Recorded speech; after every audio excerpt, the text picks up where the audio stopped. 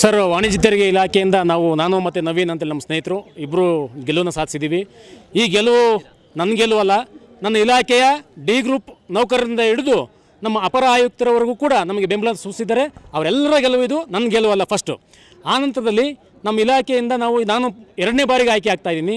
ನಮ್ಮ ನವೀನ್, ನಮ್ಮ ಸ್ನೇಹಿತರು ಮೊದಲನೇ ಬಾರಿಗೆ ಆಯ್ಕೆ ಆಗ್ತಾ ಇದ್ದಾರೆ.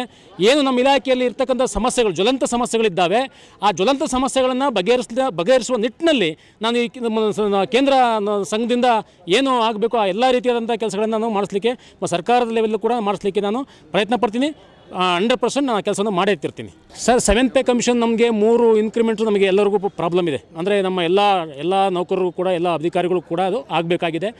ಈಗೇನು, ಈಗ ಆಗಬೇಕಾಗಿತ್ತು ನಮ್ಮ ಅಧ್ಯಕ್ಷರು ಪ್ರಯತ್ನ ಪಟ್ಟರು ಆಗಲಿಲ್ಲ. ಮುಂದೆ ಬರ್ತಕ್ಕಂಥ ಒಂದು ಏನು ಆ ಸಂಘದ ಒಂದು ಪದಾಧಿಕಾರಿಗಳು ಏನಿದ್ದಾರೆ ಅದನ್ನು ಖಂಡಿತವಾಗ್ಲೂ ನಾವು ಆ ಮೂರು ಇನ್ಕ್ರಿಮೆಂಟ್ ಒಂದು ವ್ಯತ್ಯಾಸ ಇದೆ. ಅದನ್ನು ನಾವು ಖಂಡಿತವಾಗ್ಲೂ ನಾವು ಪಡಿತೀವಿ ಅಂತೇಳಿ ಈ ಮೂಲಕ ನಾನು ಹೇಳಲಿಕ್ಕೆ ಇಷ್ಟ ಇಷ್ಟಪಡ್ತೀನಿ.